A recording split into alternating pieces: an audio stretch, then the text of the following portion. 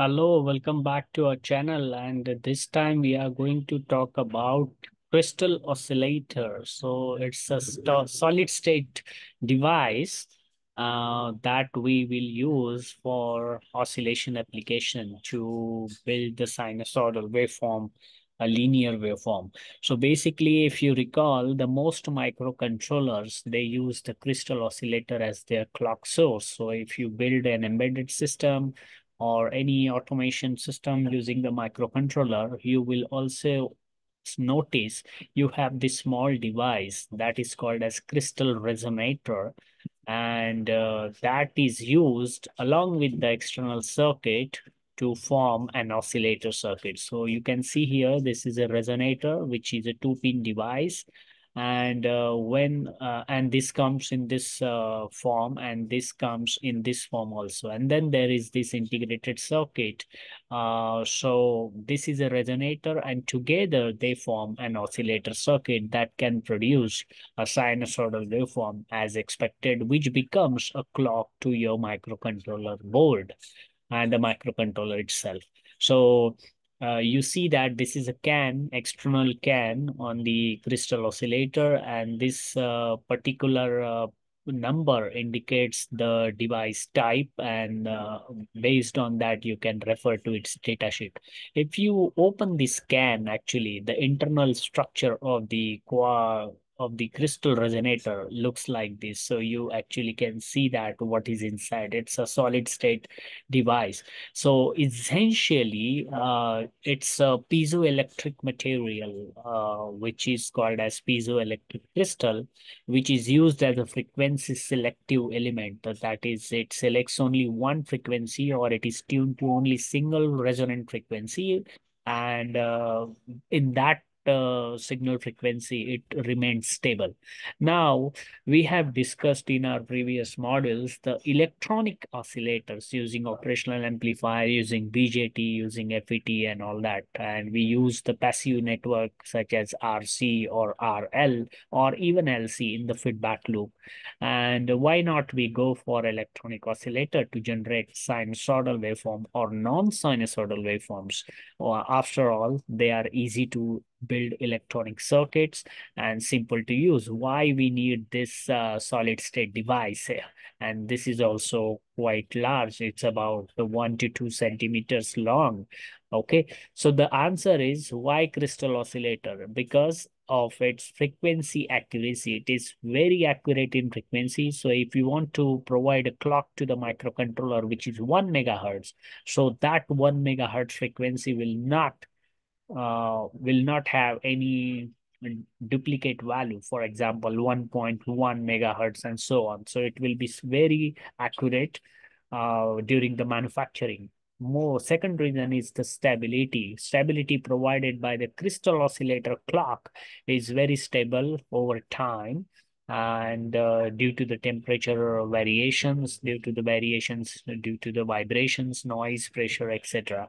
And also when uh, this device is uh, utilized to build the oscillator, it is providing us the low power consumption. Okay, so these are few reasons. So let us now understand how this crystal oscillator works.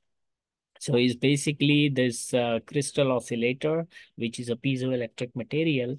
It works on the principle of piezoelectricity. So when it is uh, experiencing an external force or pressure, the material squeezes and expands.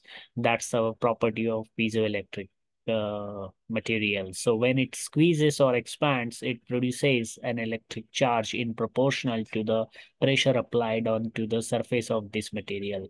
And this effect is called as piezoelectricity, and that's the basic principle of using it as a resonator. So at a single frequency, uh, based on the mass and the stiffness of this uh, piezoelectric material, you have uh, resonant frequency and that becomes uh, your basis to build an oscillator. So as I said, it works on the principle of piezoelectricity. So when you apply an external pressure on this piezoelectric material, for example, as shown in the figure, so in the solid lines shows the piezoelectric material before being pressure or force being applied, and the dotted line shows the expansion in the horizontal direction both way of this uh, piezoelectric material when it experiences the external force or pressure. This kind of expansion uh, is called as a mode shape and in particular this is called as longitudinal mode shape. So piezoelectric material experiencing a force and it is getting stretched in the direction shown there is another another mode called as thickness shear mode so uh, you can see that the solid uh, square is the original material shape and after it experiences the force for example in the right direction and in the left direction so this is called as thickness shear mode this is called as flexural mode where your dotted line indicates the mode shape uh, the kind of uh, movement or the position change of the crystal. This is called as shear mode. So you have this portion goes down, this portion goes up, this portion goes left, and this portion goes out. And there is also very popular called as tuning fork. So the solid lines, there are two uh, elements available here, but after they experiences the vibration in the up and down direction, look at the dotted lines indicating the oscillation mode shapes. So depending on in which direction you squeeze the material, that is the piezoelectric material, which is available in different shapes, different types, such as most common is the quartz crystal. And then there is this PZT, zinc, uh, aluminum nitride, and all those things are there. Now, when this uh, material undergoes a static force, you have a static movement. However, when this material undergoes a dynamic force, such as the force varying with respect to time, you have an oscillation in the circuit uh, and the oscillation frequency determined by the mass and the spring constant of the system. So it behaves like a electronic RLC circuit, which also a tank circuit. So it's a tuned circuit or the tank circuit. And we have seen our previous module how the L RLC tank circuit works. So why not go for RLC circuits, which is simple electronic circuit built using the passives? Why go for this crystal material? The answer is you want a very high Q factor in your clock uh, when you provide a clock to the microcontroller so that it has extremely it is extremely selective at one single frequency and it doesn't respond to any other frequency so that's called as resonator and the quartz provides externally extremely high quality factor as compared to RLC. So RLC circuit has a quality factor in the range of 10 to 100 or maximum few few hundreds but high quality factor with achievable with the piezoelectric material is in the thousands or tens of thousands or hundreds of thousands uh, depending on the material geometry mode shapes etc so that's the reason the quartz crystals helps us to provide extremely accurate stable clock. So after seeing this oscillation mode shape, we can see what kind of frequencies are possible to produce uh, in electronic applications. So with the quartz crystal, you can produce the frequencies ranging from few tens of kilohertz to hundreds of megahertz. So smaller the mass of the piezoelectric crystal, higher the frequency of the operation of the resonator circuit. So it's about the scaling effect. Nowadays, there is a MEMS technology, which stands for micro electromechanical system that allows us to precisely use the piezoelectric materials such as aluminum nitride, etc., to provide an innovative solution using crystal and uh, using oscillator and replace the crystal, traditional crystal. So MEMS technology is there to re reduce and replace the burden of uh, quartz crystal. Why? Because the problem with the crystal is its size and the weight. As I have shown in the previous slide, look at the size, few centimeters. So it takes a lot of space on the PC board when you do develop an embedded application. So you have microcontroller, a lot many other electronics, and this also takes a sizable amount of space. But using the MEMS technology nowadays, uh, you can uh, utilize the bulk acoustic wave resonators. That's not precisely a MEMS technology, but this is a part of it. And, uh, addition to that you can also use the MEMS resonators so advantage is that they due to scaling their mass is extremely small they are nanometric size uh, devices so they have very high frequency or resonance frequency, which can be used for oscillation, and also their size and the weights are extremely small. So where are the oscillators used? Especially we now talk about crystal oscillators. They are used in wristwatches, clocks, radios, computers, and phones. And now the efforts are going on to replace the crystal oscillators because of their problematic size and the weight to replace them with the BAW as a bulk acoustic wave or surface acoustic wave or even the MEMS resonators and the oscillators. Okay, so still uh, the progress is going on and uh, in a few years we might see that crystal oscillators are not uh, available in wide uh, range of applications such as wristwatches, clocks, radio, which are commonly seen nowadays. But in few years to come, the research is going on to replace them with the BAW resonator or the SAW resonators. So how to represent the electronic behavior of the crystal oscillator? So answer is here. This is an equivalent model of the resonator. So here the C naught is the static or the inherent capacitance of the piezoelectric material.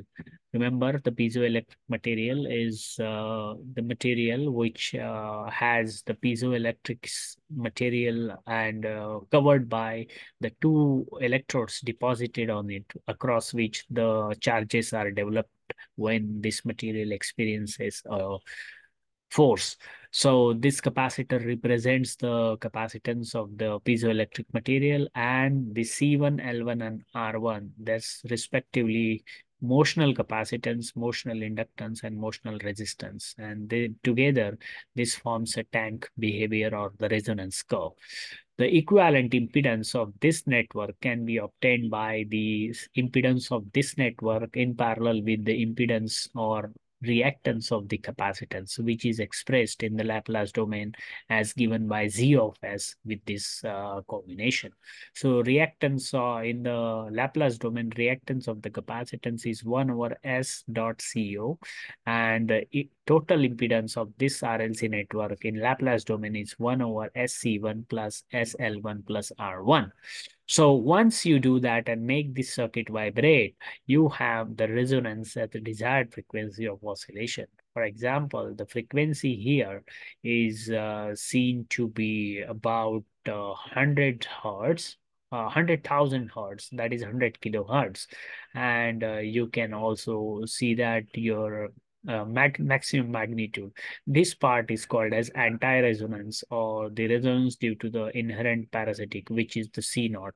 Okay, so the main resonance is right here, and this anti-resonance is due to this C part, C naught part, and C1, L1, R1 represents this resonance. Okay, now this uh, crystal is vibrating in a specific mode. However, due to uh, spurious modes as you can see that the main resonance is also here but the resonance may also experience the vibration as we have seen in our previous slides. There are multiple modes of vibration. So the force is in such a way that it is exciting the crystal not only at the main resonance but it can also excite the crystal at the higher frequencies of the mode so that's why these resonance are also coming here. This is also the anti-resonance for associated with each specific peak resonance mode. So finally, uh, if you open up the crystal, the you just open the can and you will see inside This is a tuning fork uh, that is commonly used in modern quartz watch. Uh, this is also the simple quartz crystal in the form of a disc. Uh, so, and this is again a simple quartz crystal. Uh, it's, it's a simple plate and across which uh, the top and the bottom of this plate uh, experiences the force and it develops the charges. Here is also another view. So hope you found this video useful. Uh, look at the scale here. It is only 2 mm. So you can see that how long it is. Just a 10 mm is the maximum length and it is uh, there. So hope you found this video useful. If you like this video, click the like button, put some comments as your opinion, what you thought about this video and share it for a wider reach. Uh, and uh, stay tuned for more engaging contents like this. Till then, wish you happy learning.